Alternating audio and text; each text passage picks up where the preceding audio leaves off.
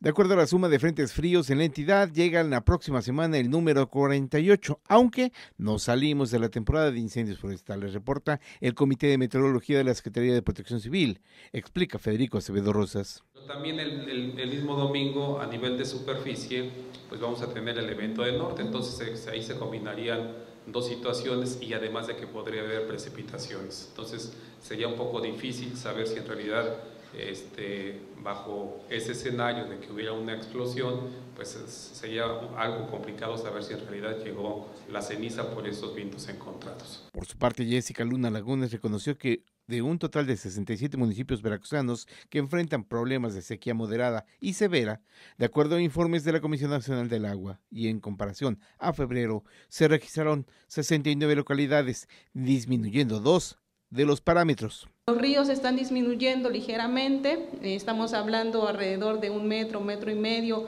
en relación a inicios de año, todavía no presentan condiciones tan críticas.